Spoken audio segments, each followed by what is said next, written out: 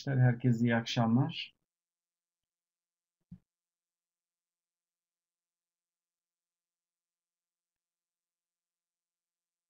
Arkadaşlar geçen hafta tek kriterli karar verme problemlerini konuşmuştuk. Biz bunları hatta olasılıksız karar verme yöntemleri de dedik. Neydi bu yöntemler? Hatırlıyorsak birer tane hemen yazalım arkadaşlar. Olasılıksız karar verme yöntemleri. Güzel. Maximax vardı. Minimax pişmanlık vardı. Maximin vardı kötümser yaklaşım. İki tane kaldı. Dengelendirilmiş iyimserlik, kötümserlik vardı. Bir de çok güzel Serkan eş olasılık karar verme var değil mi? Tabii bunları anlattık. Daha sonra ne yapmıştık arkadaşlar? Bunların mahsurlarını konuşmuştuk. Hatırlıyor musunuz? Mahsurları neydi?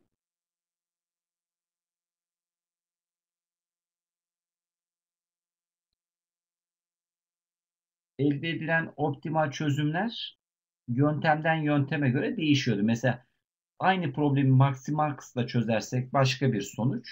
Aynı problemi Maximin'le çözersek başka bir sonuç. Veya Minimax pişmanlıkla çözersek başka bir sonuç çıkabiliyordu. Bir tanesi buydu. Ondan sonra uç değerleri kullanıyordu hatırlarsanız işte maksimum noktayı veya en kötü noktayı değerlerin hepsini kullanmıyordu sevgili arkadaşlar. Bunu söyleyebiliriz. Zaten bu karar yöntemleri de ne yapıyordu? Kişinin psikolojik yapısına göre işte Maximax çok iyimser bir insan bunu kullanıyor. Maxim'in kötümser insan değil mi? Bir diğer işte pişmanlık olan ne seçerse seçsin mutlaka yanlış bir karar vereceğini, yanlışı seçeceğini ve pişman olacağını, dolayısıyla bu pişmanlığını en aza indirgemeye çalışıyordu şeklinde yaklaşımlar vardı. Tabi oradaki değerlere baktığımızda hani bir de şuna bakmak lazım. Orada hani hiçbir değer değişmiyordu. Her şey netti. Ee, bizim karar vericinin kontrol edemediği çevresel faktörler var. Mesela hava durumunu biz kontrol edemeyiz. Rakiplerimizin durumunu biz kontrol edemeyiz.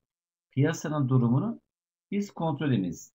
Şeklinde karar verici kontrol edemediği neydi? Yapısal değerler var. Ve bizim bunları da bir şekilde ne yapmamız lazım arkadaşlar? E, modele dahil etmemiz lazım. İşte orada da bizim yardımcımız neticede nedir? Bunların olasılıkları, bu yöntemleri e, bunları e, bir şekilde dahil etmemiz lazım. Bilimsel yöntemlerle tahmin yapabiliriz. Bunların olasılıklarıyla ilgili geçmiş dönemdeki nispi frekanslarını hesaplayarak bunların oluş olasılıklarını e, problemi dahil edebiliriz. Örneğin işte 20 Mart'ta hava durumu ile ilgili bir sıkıntı var. Sabah şemsiyemi satalım, şapkamı satalım. Buna karar vereceğiz. Geçmişe dönük tüm 20 Mart verilerini alsak elimizde, işte diyelim ki 10 yılınkini inceledik. 3 tanesinde hava yağışlıymış.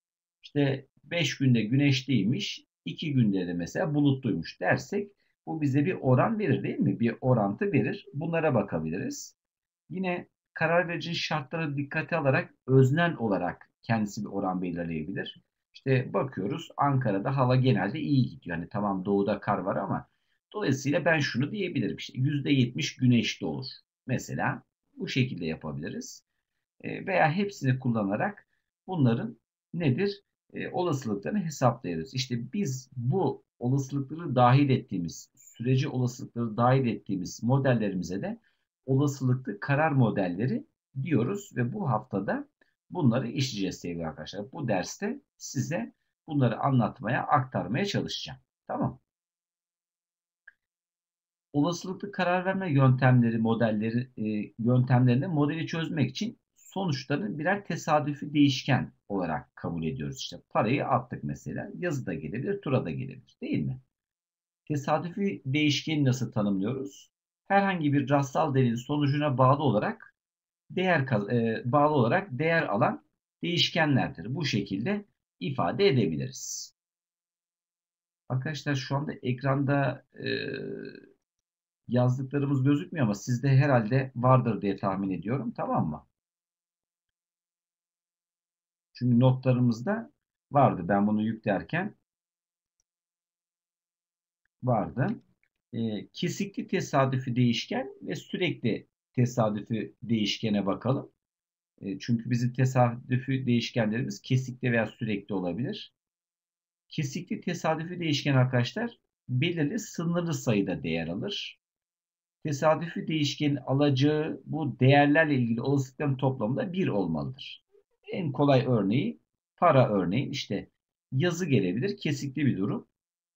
Atarız tura gelebilir kesikli bir durum. İkisinin olasılığın toplamı ne olmak zorunda? 1 olmak zorunda. Tamam.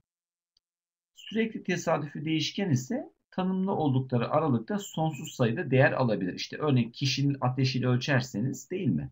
Yani teorik olarak sonsuz sayıda değer alabilir. Veya işte doğan bebeklerin kilosunu ölçüyorsunuz mesela. Noktadan sonra virgülden sonra, sonra bir sürü değer müsaade edin düşünün. Yine ne olabilir? Bu da e, sürekli bir tesadüfi değişken olabilir. Tamam. Esra bu herhalde şeyle ilgili çünkü şu yansılarda yazılar geliyor. Hani o ilk iki yansıda anlayabilmiş değilim. Aslında sisteme yüklediğimde vardı. Bundan sonra sıkıntı olmaz. Herhalde teknik desteklik bir işimiz yok. Tamam arkadaşlar. Şimdi biz e, karar ağacını daha önce görmüştük hatırlarsanız. Tamam. Karar ağacında şu şekilde ifade edeceğiz arkadaşlar. Bakın şu bizim karar noktamızda dikdörtgenle ifade ettiğimiz tamam. Bu karar noktasında gerçekleşebilecek olaylara, olasılıklara gittiğimizde S1 durumu gerçekleşebilir. İşte örneğin güneşli. S2 durumu gerçekleşebilir. Yağışlı. S3 durumu gerçekleşebilir. Bulutlu veya karlı. Tamam. Hani bunlar bizim kontrolümüzde olanlar değil. Belirsizlik. Evet. Çok güzel. Bu belirsizlik gerçekleştiğinde ki bunun bir olasılığı var.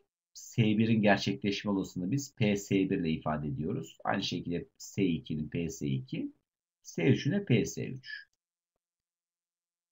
Bu durum gerçekleştiğinde bizim elde edeceğimiz bir kazanç miktarı. U ile ifade ediyoruz. Utility'den. Hani o şekilde. Tamam. İkinci durum gerçekleştiğinde, üçüncü durum gerçekleştiğindeki bizim nedir? Elde edeceğimiz fayda. Burada üç tane çevresel durum var. Dolayısıyla bu üç tane çevresel durumun olasılıkların toplamı ne olmak zorunda sevgili arkadaşlar? 1 olmak zorunda. P1, P2 ve P3'ün toplamı 1 olmak zorunda. Bu bizim kesikli tesadüfi değişkenimiz. Bakın hani yağışlı olabilir, güneşli olabilir, karlı olabilir. Peki sürekli tesadüfi değişken olur ise bunu nasıl gösteriyoruz? Sürekli tesadüfi değişkenler sonsuz sayıda değer aldığından hani buna yağmurlu, bulutlu, güneşli diyemiyoruz. Bunlar kesikli tesadüfi değişkenler olduğu gibi her durumu gösteren, her sonucu gösteren bir dal ile gösterilmiyor. Bir yay kullanıyor arkadaşlar bunun yerine. Tamam. Hani e, örneğin işte bebekleri mesela düşünelim. Tamam bebek kilolu olabilir. Değil mi? Normal olabilir. Zayıf olabilir. Mesela bebeğin 1.1 ile veya biraz şey yapalım. Bebeğin 2 ile 2,5 kilogram arasında olmasını biz kilolu dersek 2 ile 2,5 arasında sonsuz sayıda değer var değil mi arkadaşlar? Dolayısıyla üst sınır ve alt sınır bunları bu şekilde ifade ediyoruz. Ve bunu da bir yay ile gösteriyoruz. Bizim sürekli tesadüfi değişkenlerimizi. Tamam. Demek ki dal ile değil yay ile gösteriyoruz. Hava sıcaklığı da olabilir. Dediğin gibi Kozan hani 25.8, 25.888 şeklinde veya şunu ifade edebilirsin. Sıcak, soğuk, normal dersin. Sıcağı mesela 25 derece ile 35 derece arasında belirlersin ve sonsuz değer alabilir bunlar arasında. Değil mi arkadaşlar? Veya tahlil sonuçları bunlar da Esra'nın dediği gibi olabilir. Olasılıklı karar modellerimizi çözdüğümüzde sevgili arkadaşlar bizim Olasılıklarımızın toplamı yine yansıda buradaki beklenen değer tabi ifadesi. Olasılıklı modellerde arkadaşlar belirsizlik e, halinde karar verme yöntemlerinin olduğu gibi bu karar vericinin iyimser, kötümser psikolojisine bağlı değil. Tamamen burada bir beklenen değer olayı var. Tamam. Beklenen değer bakalım şuradan. Beklenen değer formülünü arkadaşlarımız hatırlıyordur. Yansılarınızda da aslında var. Önceden çıktı aldıysanız değil mi? Biz beklenen değere expected e, value olarak e ile ifade ediyoruz. X'in beklenen değeri değil mi? Tüm gerçekleşme durumları çarpı bunların olasılıklarıyla ifade ediyoruz sevgili arkadaşlar değil mi? i birden n'e kadar eğer n tane durum e, gerçekleşiyorsa pardon şurası 1 şu 1 değil mi? Şurası n e, bizim i'lerin gerçekleşme olasılıkları çarpı x'lerimiz şeklinde biz beklenen değeri bu şekilde buluyoruz. Bizim beklenen değer şu açıdan önemli. Beklenen değer eğer fayda temelli ise büyük olanı seçiyoruz. Zarar temelli ise küçük olanı seçiyoruz. Onu getirecek olan hareket tarzına. Tabi bu kesikli tesadüfi değişkenler için. Sürekli tesadüfi değişkenler için ne yapıyoruz? İntegralini buluyoruz. Burada e, çünkü artık dal kullanmıyorduk, yay kullanıyorduk ve buradaki fx bizim hani oradaki onu da buraya yazalım madem sevgili arkadaşlar. Ee, hani bunların neden çıkmadığını açıkçası anlayamadım formülasyonun. Bizim integralimiz değil mi? Ee, alt sınırdan üst sınıra kadar T ve L ile ifade ettik. Eğrinin altında kalan alan çok güzel. X yine bizim durumlarımız ve bunun olasılık yoğunluk fonksiyonu fx. Değil mi? Şeklinde biz beklenen değerleri böyle buluyoruz. E tabi biz genelde kesikli tesadüfi değişkenlere çalışıyoruz. E, problemlerimiz o şekilde. E, sürekli o, e, ki, tesadüfi değişkenlerle pek fazla çalışmıyoruz. Tamam Şimdi bakın şöyle bir örneğimiz var arkadaşlar. Ee, daha önce de benzer konularda herhalde bu problemi tartıştık veya bundan sonra kullanacağız yani bu örneği. Ee, bizim 3 tane hareket tarzımız var. Bir yatırım düşünüyoruz. Kapasiteyi arttırıp yatırım yapabiliriz. Mevcut durumu koruyabiliriz veya kapasiteyi düşürebiliriz. Değil mi? Yataydakiler, e, satırlar bizim hareket tarzlarımız. Ama piyasayı biz kontrol edemiyoruz. Piyasada talep artabilir, talep değişmeyebilir veya talep düşebilir. Üç tane durum olduğunu bilelim. Bunların da biz olasılıklarını işte geçmiş tecrübelere, çeşitli raporlara göre ifade etmişiz. Yani işte önümüz yaz dönemi mesela değil mi? %40 ihtimalle talep artar dedik S1. İşte %35 ihtimalle talep değişmez dedik. Tamam. %25 ee, ihtimalle de pardon %25 e, ihtimalle de nedir? Bizim talebimizin aynı e, düşeceğini ifade ettik. Dolayısıyla ne yapalım? Yani kapasiteyi arttıralım mı? Mevcut durumu koruyalım mı? Ya da kapasiteyi düşürelim mi? Buna karar vereceğiz. Bu e, matris içerisindeki değerler bize verilen değerler arkadaşlar. İşte biz kapasiteyi arttırır, talepte artar ise neymiş? Ee, şu, bakalım e, şunu bir kesebilecek miyiz? Evet, onu da silelim. Güzel. Şimdi işte biz kapasiteyi artırırsak, talepte artarsa ne olacak sevgili arkadaşlar? İşte 18 bin lira getirimiz var. Ama biz kapasiteyi arttırdığımızda eğer talep düşerse o zaman da 8 bin lira kaybımız olacakmış. Bu veriler bize verilmiş. Dolayısıyla biz hangi hareket tarzını seçelim diye ne yaparız? Bunların beklenen değerlerini buluruz ve ona göre bu fayda olduğu için en büyük olan e, hareket tarzını seçeriz değil mi? Yani 0,4 çarpı 18 bin artı 0,35 çarpı 2000 artı 0.25 çarpı eksi 8000 bir değer çıkar. Aynısını A2 için yaparız. A3 için, yap A3 için yaparız. Büyük olan hareket tarzını seçeriz. Yine burada nedense değerler yok. Ee, siz sistemden çıktı alan arkadaşlarımız EA1, EA2, EA3'ün hesaplanmış değerlerini görebiliyor musunuz? Yani o zaman çıktı aldığınızda bunlar görünüyor olması lazımdı.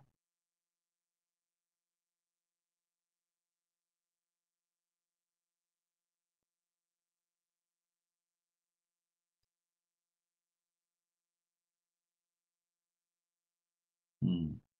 Can çıktı almanızı tavsiye ederim. Tamam mı?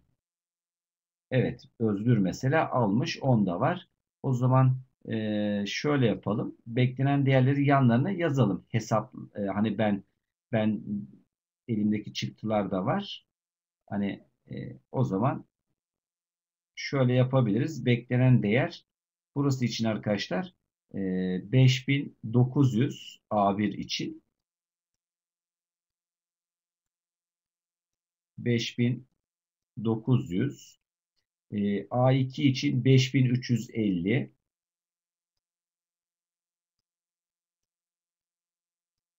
olasılıklarla bu değerleri çarptık. A3 için de 3875 çıkmış arkadaşlar. 3875. Beklenen değerler bunlar fayda. E, dolayısıyla biz hangi hareket tarzını seçeceğiz? Tabii ki değil mi? Kapasiteyi arttırıp yani A1 hareket tarzını seçeceğiz. Beklenen değeri bu şekilde hesapladık. Bunu matris gösterimi bu. Biz bunu karar ağacı olarak da gösterebiliriz değil mi arkadaşlar?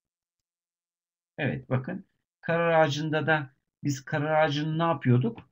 Önce çiziyorduk. Sonra sağdan sola doğru veya daldan e, gövdeye doğru hesaplıyorduk. Hani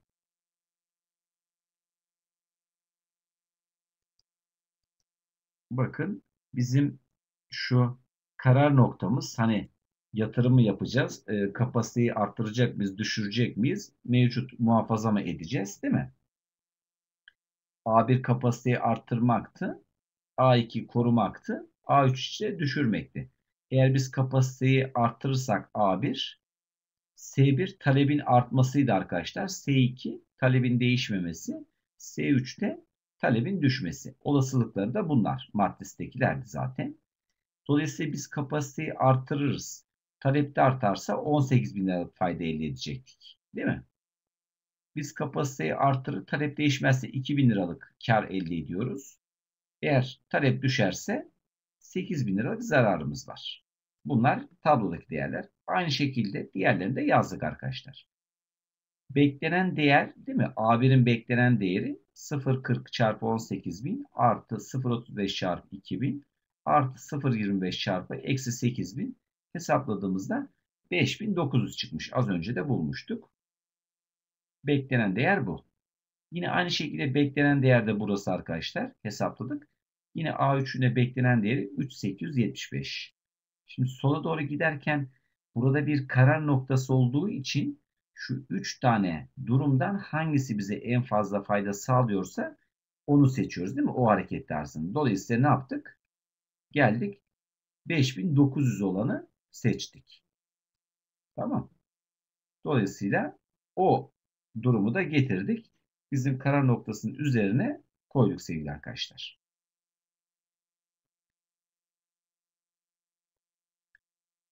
Buraya kadar sorunuz var mı sevgili arkadaşlar? Bu beklenen değer hesabıydı.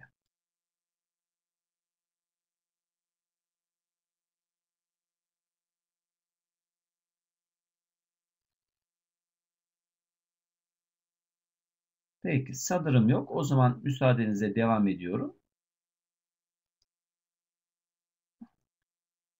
Bir de bizim pişmanlık tablomuz vardı değil mi sevgili arkadaşlar hatırlarsanız. Ee, burada da ne yapıyordu? Kişi diyordu ki ben hani e, hangi kararı verirsem vereyim neticede verdiğim karar yanlış olacak ve ben pişman olacağım. Bu pişmanlığımı da en azlamak istiyorum. Mantığı buydu pişmanlığı oluştururken. Dolayısıyla biz bir pişmanlık tablosu oluşturuyoruz. Pişmanlık tablosunu nasıl oluşturuyoruz? Kişi hani bakın değil mi? İşte A1 18.000 en fazla değil mi? Ben diyor A1'i seçseydim mesela yani S1 gerçekleştiğinde A1'i seçmiş olursam 18.000 hiç pişman olmayacağım. En fazla çünkü kazanacağım. Ama A2'yi seçersem A1'i seçmediğim için 9000 birimlik bir pişmanlığım var. Çünkü 18.000 kazanacakken 9000 kazanmış olacağım. S1 gerçekleştiğinde ben eğer A3'ü seçtiysem A1'i seçmediğim için pişman olacağım. Değil mi? Dolayısıyla da nedir? 18 bin ile 14 bin arasında 4 bin liralık bir pişmanlığım olacak. Şimdi S2 için en uygun olan hangisi sevgili arkadaşlar değil mi? A2'yi seçerse 5000. A2'yi seçerse hiç pişman olmayacak. Ama e, eğer A3'ü A1'i seçtiyse 3000 lira kazanacak. Arada 2000 lira bir pişmanlığı var. İşte 3'ü seçerse 3500 kazanacak. Bir 1500 lira bir pişmanlığı var. S3 için konuştuğumuzda eğer 7000'i seçerse hiç pişman olmayacak. Yani A2'yi seçerse pardon. Ama A3'ü seçerse 7000'i elde edemediği için A2'yi seçip 7000'i elde edemediği için pişman olacak. 7000'lik bir pişmanlık. A1'i seçer ise ise 7000 kazanmak varken 8000 kayıp nedir? Aradaki pişmanlık 15000. Bu şekilde ifade edebiliriz. Bu pişmanlık tablosunu oluşturuyoruz. Yine aynı şekilde bu pişmanlık tablosu üzerinden ne yapacağız? Beklenen değerleri bulacağız. Çünkü olasılıklar elimizde var. Bunların beklenen değerlerini hesaplayabiliriz. Kim? Tabii ki yine gözükmüyor. Ben hemen şuraya yanına yazayım beklenen değerleri o zaman sevgili arkadaşlar. Hesaplamasından veya zaten aldıysa arkadaşlarımız söyleyebilirler. Şurası 4800 arkadaşlar. Beklenen değer. İkincisinin 5350 5350 Üçüncü hareket tarzında beklenen değeri 6825. Şurasında 6825. Değil mi? Bunlar pişmanlık değerleri. Hangisini seçmemiz lazım arkadaşlar? Bizim için en iyi olan hangisi? Pardon değerler heh, geldi.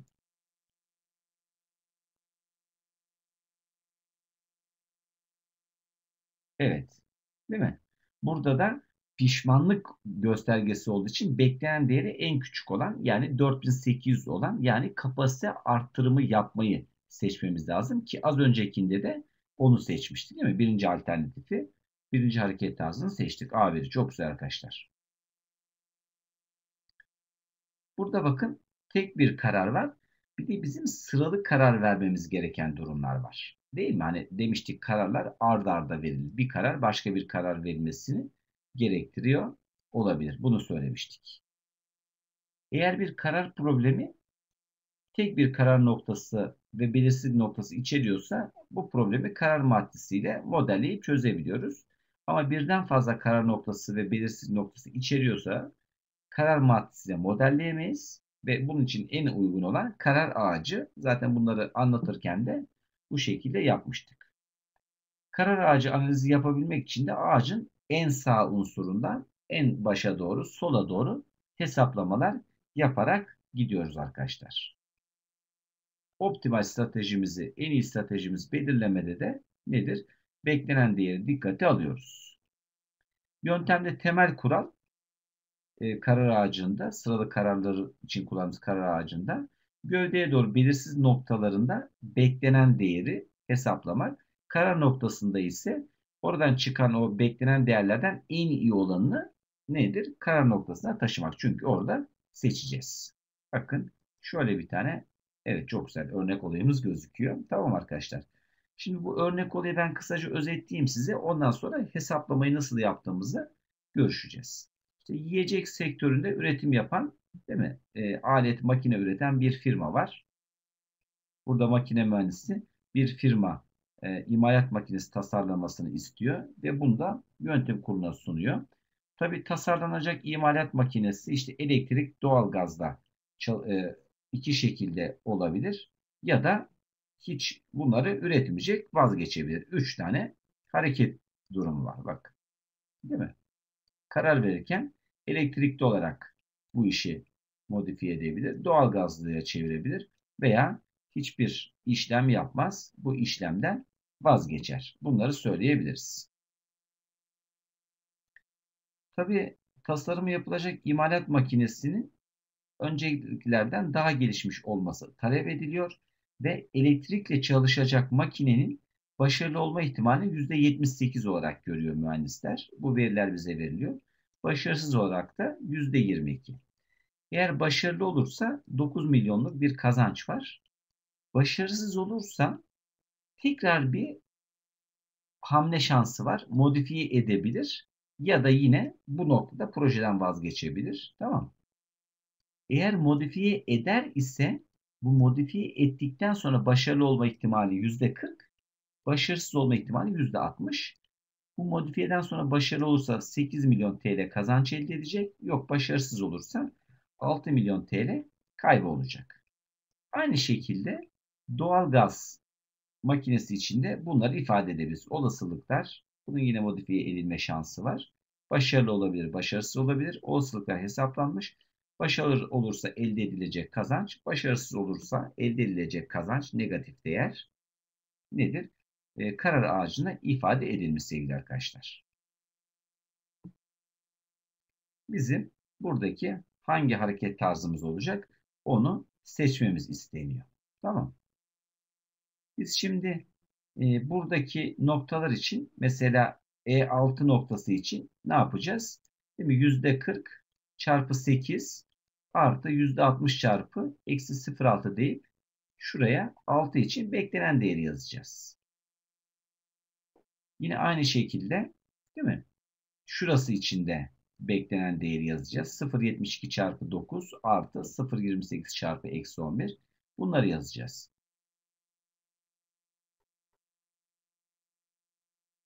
Şurada da onları ifade ettik. Evet bakın beklenen değerler bu şekilde.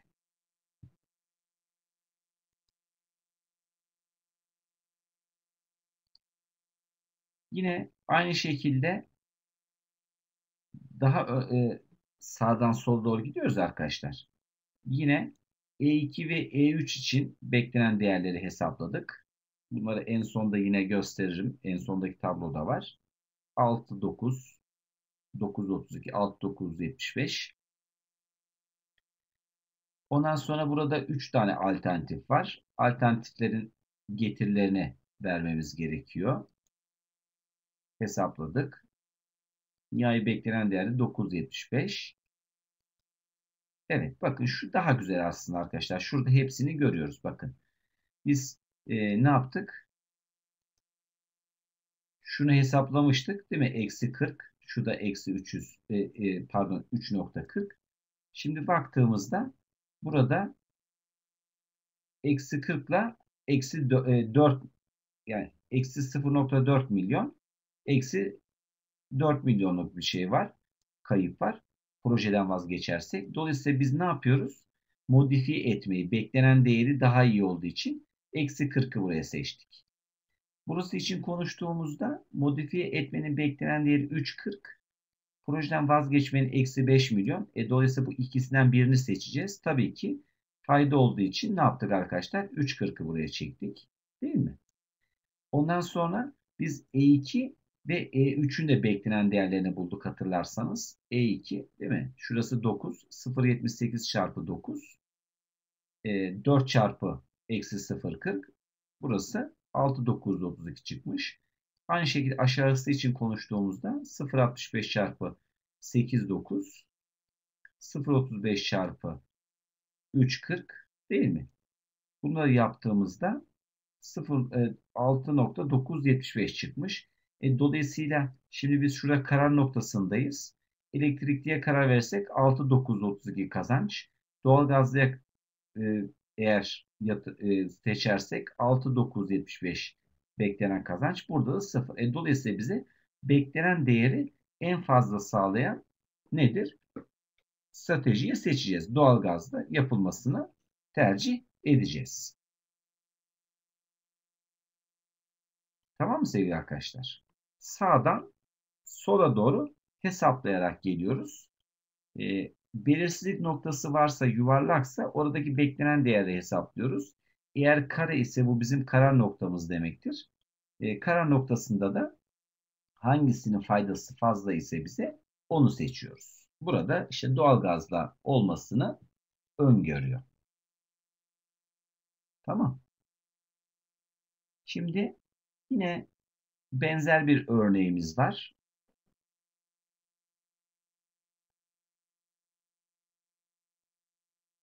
Her ikisinde de e, eksi bir sonuç çıksaydı o zaman vazgeçer miydik?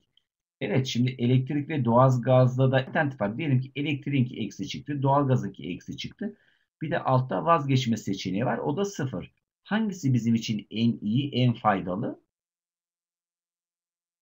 Sıfır olan. E o zaman projeye yatırım yapmazdık. Projeden vazgeçerdik bu modifikasyondan değil mi? Hani onun için bize en faydalı lafını kullanmak istiyorum arkadaşlar. Hani maliyet olsa mesela en küçük olanı seçiyoruz. Ama bu kar olduğu için en büyük olanı seçiyoruz. Yani bizim için en faydalı olan cümlesi hepsini kapsıyor aslında. Tamam. Başka bir tane örnek arkadaşlar. Bakın işte bir tane apartman inşası veya arazi olarak değerlendirecekmiş elindeki mevduatı bir şirket. Apartman inşaatının bir maliyeti var. Arazi alımının bir maliyeti var. İşte bu gelirler üzerine nüfus artışının etkisi oluyor. Nüfus artışının iki durumu var. Artabilir veya sabit kalabilir. İşte artması 0.6 olasılıklı, e, sabit kalması 0.4 olasılıklı. E, bu problem şu açıdan önemli. Hani bunu okuduğumuzda karar ağacını kendimiz çiziyoruz. Onu da biliyorsunuz hani hatırlatırım. Tamam. Sonra işte şirket apartman inşa eder, nüfus artarsa 2000 TL'lik kazanç, duran kalırsa 225 TL'lik kazanç. İşte araziyi alır, nüfus da artarsa arazi satacak ve inşa edip apartman yapacak. Buradan 4000 450 bin kazanacak. Eğer apartman inşa etmesinde işte 800 bin lira maliyeti var. Şeklinde problem söz olarak devam ediyor arkadaşlar. Yine işte inşa edilen nüfusu artarsa 3000, duran kalırsa 7000 kazanacak. Ee, araziyi satarsa 210 bin kazanacak şeklinde ticari yatırım yapılan nüfusun artması 0.3. Buna göre karar ağacını çiziniz ve şirketin vereceği kararı bulunuz şeklinde bir ifade var. Bakın şöyle üzerinde konuşalım değil mi? Apartman inşa edebilirdi, arazi alabilirdi iki karar var zaten. Tabii inşanın bir maliyeti var 800 bin lira. Değil mi? Arazi alımının da bir maliyeti vardı. O da 200 bin liraydı. Bunları hatırlıyoruz.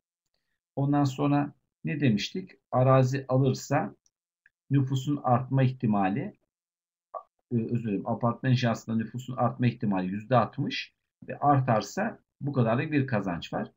Nüfus stabil kalırsa da 225 bin TL'lik bir kazanç vardı.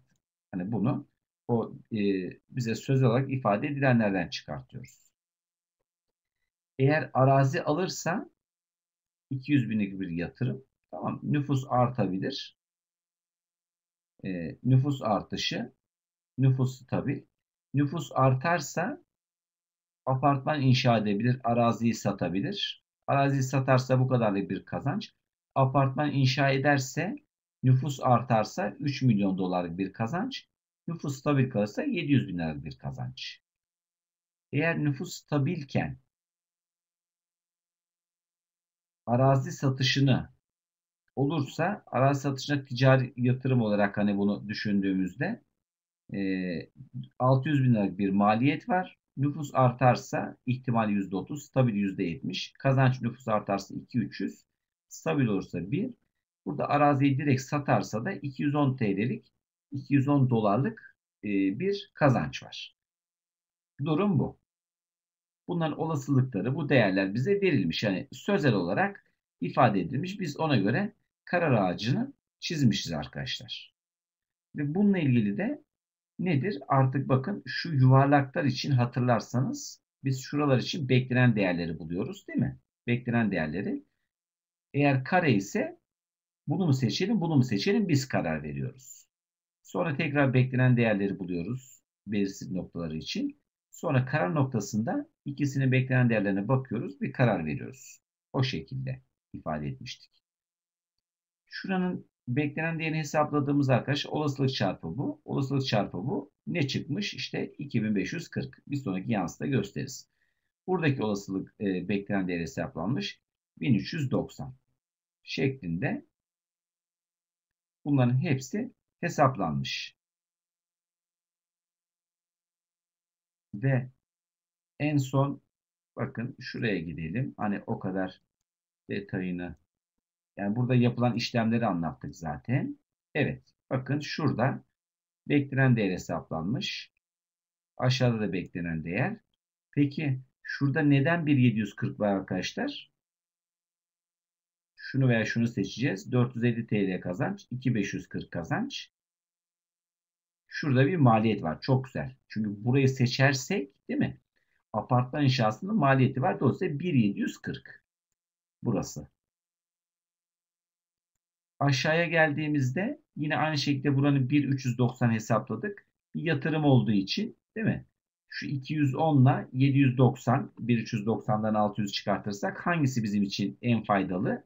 Kazanç olduğu için 790'ı buraya koyduk. Değil mi? Ondan sonra buranın olma ihtimali yani 1.740'lık kazanca ulaşma ihtimalimiz %60. 790'lığa ulaşma ihtimalimiz %40. Beklenen değerini aldığımızda 1.360. Burası için hesaplama yapalım. Çünkü bakın aynı hiyerarşide. 0.40 çarpı 225 artı 0.60 çarpı 1.290. Bunları kıyaslayacağız. Tabi bu hareketi seçmenin maliyeti 800 yani 1290 eksi 800 veya 1360 eksi 200. Dolayısıyla baktığımızda burasının beklenen değeri bizler için daha iyi değil mi arkadaşlar? 1360 eksi 200 geldik 160. Dolayısıyla biz arazi alımı seçeneğini seçiyoruz. Değil mi?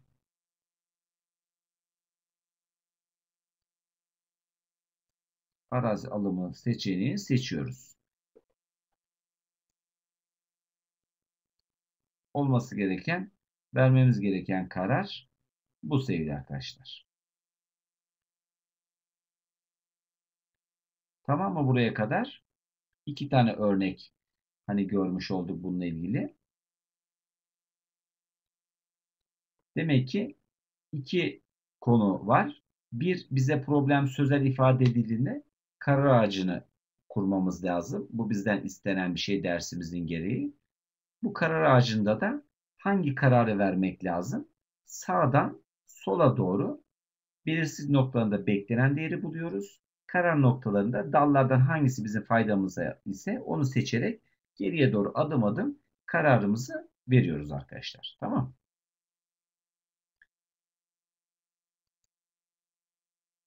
Bir diğer konu Bayes teoremi veya şartlı olasılık. Hani bunu biraz anlatalım. Çünkü bizim şartlı olasılık durumlarında kullanıyoruz sevgili arkadaşlar. Formülasyonu S bizim tüm olduğumuz uzay. İşte bunların hepsinin olma olasılığı sıfırdan büyük. Bu da uzayın parçalanmış halen. İşte burası S1, S2, S3 gibi tüm hani e, durumların gerçekleşebileceği şeklinde. Biz bu tüm durumların gerçekleşebileceği şekilde bazılarını şart koşarak başka bir durumun gerçekleşme olasılığını sorabiliriz. Mesela şartımız e, şu sarı ile boyalı alan bizim ZK'mız o da çıkmamış. Hani diğerleri de bizim S1, S2, S3, S4 falan durumlarımız. Şimdi şartlı olasılık ne? ZK gerçekleştiğinde SJ'nin gerçekleşme olasılığı nedir? Değil mi? Yani şurası şartımız. Şu şart işareti, kesme işareti değil mi? ZK gerçekleştiğinde SJ'nin gerçekleşme olasılığı nedir? Onu bize soruyor. veya şu şart olasılığı da hatırlarsınız. ZK'nın gerçekleşmesi her ikisinin beraber gerçekleşmesi. Değil mi? Şart olasılık koşullarını hatırladığınızı düşünüyorum. Eğer hatırlamıyorsak şöyle bir hatırlamakta fayda var arkadaşlar. Tamam. Şimdi e, daha önce bu bizim iki tane vazo ile ilgili bir örnek olayımız vardı. Kullanacağız da diye ifade etmiştik değil mi? Şu şekilde bin tane saydam olmayan bizim vazomuz vardı. Bunların 800 tanesinin üzerinde teta 1, 200 tanesinin üzerinde teta 2 yazıyordu. İşte teta 1'li olanlarda her bir kavanozda 4 kırmızı 6 siyah bilye. İşte e, teta 2 olanlarda da her birine 9 kırmızı bir siyah bilye vardı. Bu durumu hatırlatalım örneği. Şimdi ek bilgi almaya karar veriyor oyunu oynayan kişi ve bir top çekiyor. Bu çekilen topunun rengini kırmızı ise vazonun teta 1 olma olasılığı nedir? Teta 2 olma olasılığı nedir? Bize bunları soruyor arkadaşlar. Biz önce S'lerimizi ve Z'lerimizi tanımlamamız lazım. Burada tabi e, topun kırmızı veya siyah olması biz onu Z ile ifade ediyoruz. Çünkü şart o. Yani top kırmızı ise e, vazo teta 1 veya teta 2 onu soruyor değil mi? Şart olan topun kırmızı olması. Yani bakın şurada Z1 dersek ona topun kırmızı olması şart olan. E tabi diğer durumda siyah olması. Kırmızı ve siyah topumuz olduğuna göre. Yani bizim istediğimiz sorduğumuzda S'ler işte S1 vazonun teta 1 olması, S2 vazonun teta 2 olması. Biz 1000 tane vazo içerisinde biliyoruz ki zaten 800 tanesi değil mi? Teta 1 yani 0 bölü 8. Yine 200 tanesi 0, 2, 200 bölü 1000 bunu ifade ediyoruz. Ama bize sorulan olasılık ne? P Z1 şartında S1 olma olasılığı. Şunu göstereyim sonra oraya tekrar geleyim. Hani bu bakın. Bize neyi soruyor? Top siyah ise teta 1 olması, top siyah ise teta 2 olması. Tamam arkadaşlar? Bunları soruyor. Yani bunun formülasyonu nasıl geldiği hani burada şu durumları açıkladık zaten. Tamam. S1 eğer teta 1 ise topun kırmızı olma olasılığı ne? 4 tane kırmızı, 6 tane siyah vardı. Dolayısıyla %40. Eğer teta 2'yi seçtiyse topun kırmızı olma olasılığı ne? Teta 2 vazosunda ne vardı arkadaşlar? 9 tane kırmızı, bir tane siyah vardı. Dolayısıyla bu da 0,9. Bunlar bizim birlerden çektiklerimiz. Henüz bir şey hesaplamadık zaten. Hemen geldik. Asıl bizim istediğimiz bu. Bakın. Kırmızı ise S1 olması. Şart olasılığı hemen hatırlıyoruz. Tamam. Hani S1'i seçmiş olacağız. Vazo olarak S1'i seçtiğimizde çektiğimiz top kırmızı olacak. Bu pay kısmı. Payda kısmında tüm durumları alıyoruz. S1'i seçebiliriz. Bu gerçekleştiğinde S1'i seçtiğimizde Z1 olması. S2 yani vazo 2'yi seçebiliriz. Vazo 2'yi seçtiğimizde kırmızı olması. Başka bir olasılık yok zaten. Dolayısıyla bu ilgili olasılık değerlerine geldik yazdık. Hesapladığımızda 0.64. İki durum olduğu için otomatikman 1 eksi 0.64 yazabiliriz. Veya geliriz buradaki formülasyon top kırmızı olduğunda ikinci vazo olması, teta 2 olması. Bir ikinci vazo seçilecek olasılık. İkinci vazo seçildiğinde top kırmızı. Oradan çekecek. Şu aynısı zaten. Birinci vazo seçilecek. Birinci vazo seçildiğinde topun kırmızı olması. Aynı değerleri yazdığımızda zaten 0.36 değerinde o şekilde buluyoruz. Yani bu şekilde de hesaplayabiliriz veya bu şekilde de hesaplayabiliriz. İki durum olduğu için. Her ikisi de kabul. Tamam arkadaşlar. Ne yaptık? Bu dersimizde biz olasılıklı karar modellerini görüyoruz. Çünkü olasılıksız olanların mahsurlarını vardı. Geçen hafta konuştuk. Olasılıkları gördük. Tesadüfü değişken, kesikli tesadüf değişken ve sürekli tesadüfü değişken. Bunları tanımladık nasıl olduğunu. Eğer karar maddesini oluşturuyorsak beklenen değerin nasıl hesaplandığını gördük. Daha sonra ard arda karar gerektirenlerin karar maddesiyle ifade edilemeyeceğini, karar ağacı olması gerektiğini konuştuk. Karar ağacını çizdik. Hesaplamaların nasıl olduğunu gördük. Bir de en son Bayes teoremi şartlı olasılık durumunu gördük sevgili arkadaşlar.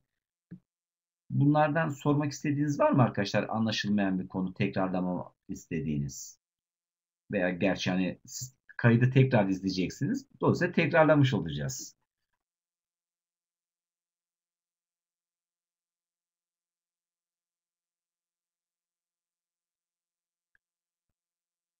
Peki arkadaşlar ben teşekkür ediyorum hepinize.